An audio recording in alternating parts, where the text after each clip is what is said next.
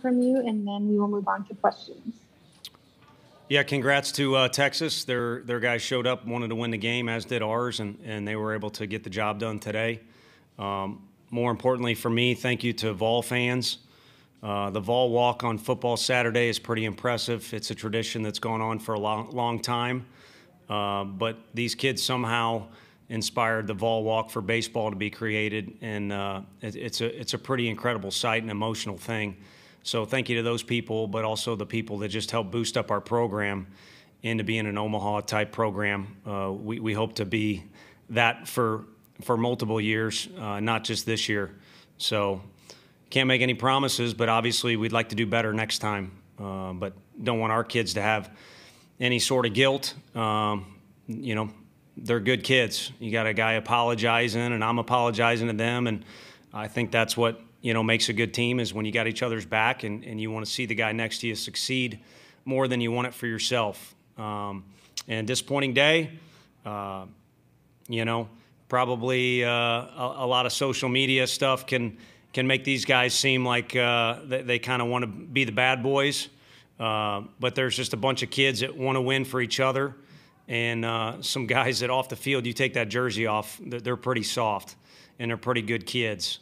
Um, but when they throw it on, they do everything they can uh, to win for Tennessee and, and, to win for each other. And I'm honored to have been around them for 50 wins and uh, obviously one loss too many. Thank you. Uh, we'll move to questions now. Mike Wilson. Yeah, Tony, when you were standing out there in the outfield, just kind of distant from from your team, all huddling together, what was going through your mind, and and how do you keep a season like this in perspective with what you did versus how it ended? I think it's hard because uh, no, no disrespect to the opponent, j- just didn't envision it today. And even in the ninth inning, maybe you get two outs and nobody's on. You start thinking, what do I say to the guys or anything like that? But uh, we just, I mean, nothing's packed. I can tell you that. I got no idea how much longer we'll stay here, uh, but feel unprepared. Kind of like our two games. We didn't play that great even though a lot of preparation time was put in. If the results don't go well, you have to look at yourself as a coach and and you know wish you made different decisions because the ones you made didn't work. Um, but you get to that point, I really didn't have anything intelligent to say to the guys. Um, I just, you know, the old cliche, man. You, you go to a place, you'd like to leave it better than you found it, and, and holy cow, did these kids do that? So I was just out there looking after them, you know, wanting to be able to do something to help, but at that point they just wanted to share some time with one another. And uh, you know, I mentioned to them in, in, the locker room there that we, we need to do something else uh, to get together as a group rather than just kind of slamming the door shut on this thing. Um, you know, whether it's honoring the fans or the team, or just getting together for a meal and being together one more time. Wes Rucker. Yeah, Tony, was anything about, I know emotion has fed y'all as a team so many times this season in a positive way. Did any of that create any, any negative things today? Or, or was that, were those two separate things, the execution not being great and then some of the emotion? No, I don't think so. I, I think um, it's either there or it's not. And I, I, I, there's no way I can count on one hand total or how many digits you got. I mean, two, three times the guys didn't show up with kind of their attitude or, or their behavior. I mean, certainly there was fluctuation in skill and performance, uh, but they just found a way for almost 70 games, however many it was, to show up and play vol baseball, if that's what you want to call it. And uh, we didn't do that game one here in Omaha for whatever reason. I mean, we, we sat and, and talked forever. It just wasn't there.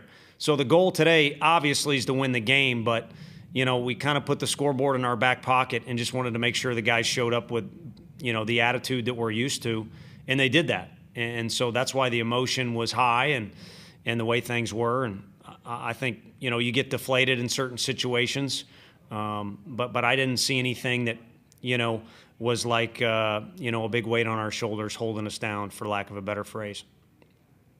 Ryan Shumpert. From your vantage point, just what did you see on the plate to plate in the fourth inning, and did you feel like that kind of took some juice out of your team, and or anything like that? Well, I, I thought it was a really clean relay. I mean, Jordan Beck, uh, you know, got over there in a hurry.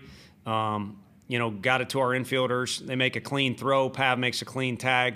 Um, so you, you kind of anticipated the thing being an out.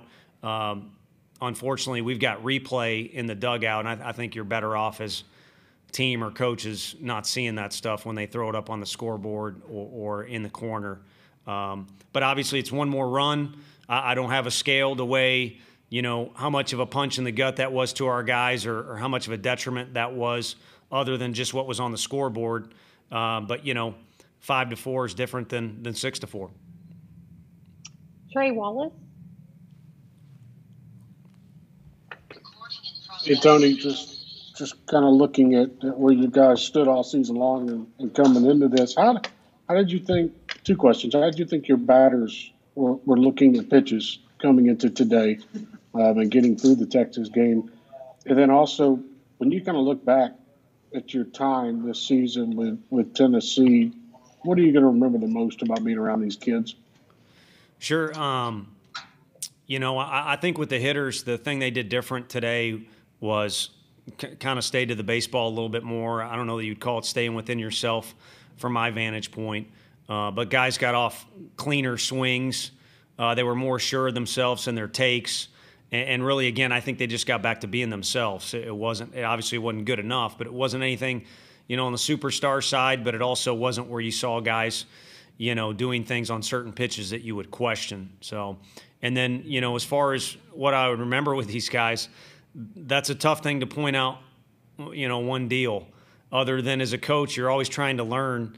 And uh, I learned a ton from the group on just how to get things done, how to act, uh, how to respond in certain situations. Um, and then, the, you know,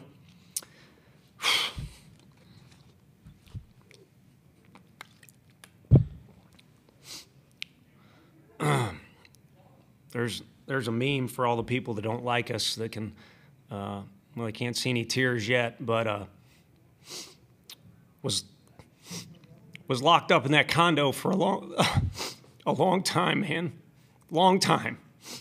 And uh, then we had to watch these guys hit BP on the field by themselves play catch couldn't do anything.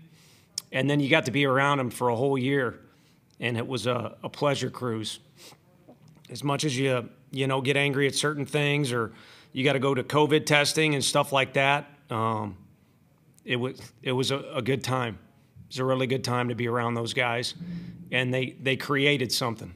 So you get handed the baton, you run with it. That's one thing, and kudos to all those people that have done that.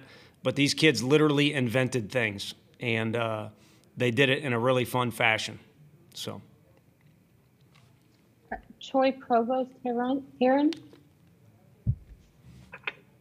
Hey, Tony. Uh, just want to go back to that fourth inning, and you mentioned the perception about you guys being the bad boys and whatnot. When Ross gets tossed there, are you at all surprised that the guys didn't respond to that uh, uh, well, and kind of just what, and kind of all the bad luck and whatever happened after that moment?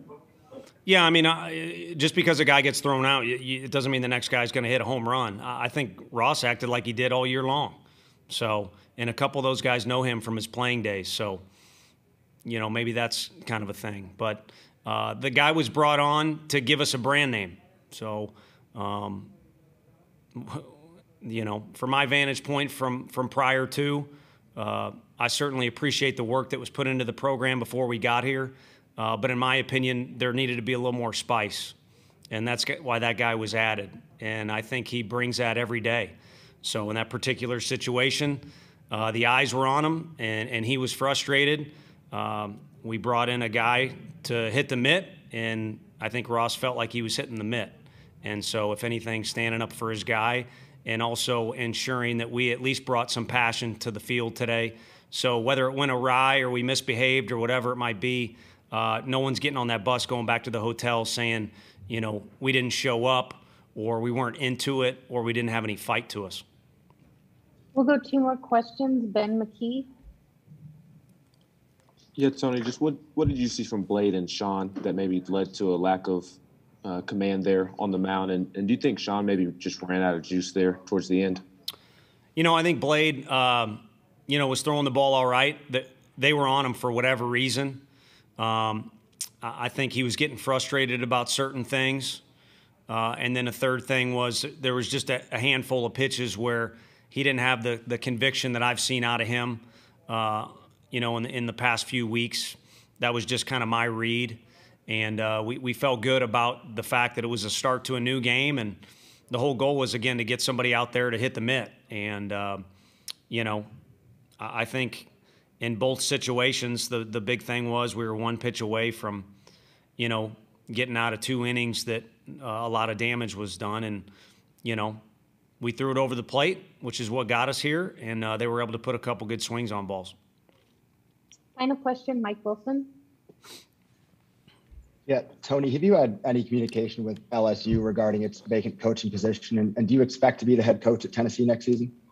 Uh, no, I've not had zero, and um, you know, I just made an idiot out of myself, at least for all the masculine folks watching, by by uh, getting teary eyed about these kids, and that's where my focus has been. So, uh, like I said, it, the social life hasn't been existent for quite some time, uh, well before our opening day game. And a part of that is I want to do as good of a job as I can for the school that gave me a chance and I want to do as good of a job I can for a group that we thought could go pretty far. Uh, and then, you know, the way the season evolved, like I said, I mean, the emotions certainly not fake. Uh, I don't know if it's embarrassing or not, but it's it's coming from a place where that's my number one concern is is these guys. And I'll go back to the the room, and anyone who knows me, it'll be bad. Uh, how much I critique myself, and it hurts.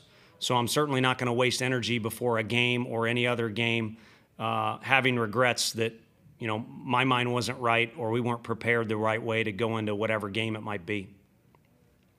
Thank you, Coach. Congratulations on a good season. Thank you all. Take care.